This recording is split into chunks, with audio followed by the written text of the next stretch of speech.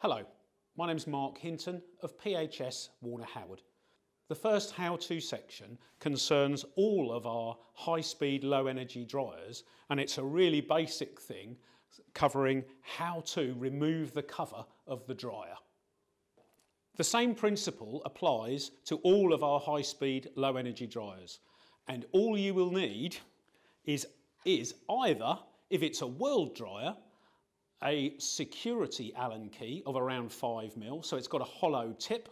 So that applies to a SMARTdri, the VERDEdri and the Air Force.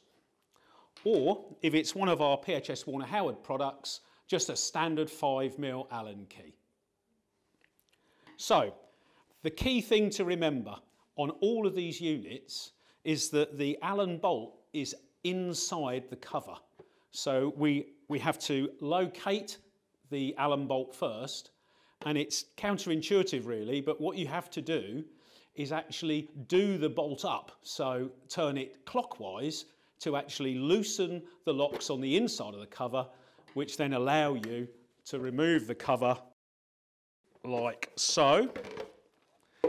And if we look inside the dryer, here we can see the two bolts and if I turn them, if I unlock them, you can see they're coming down and they will lock on the inside of the covers of all of these high-speed, low-energy units.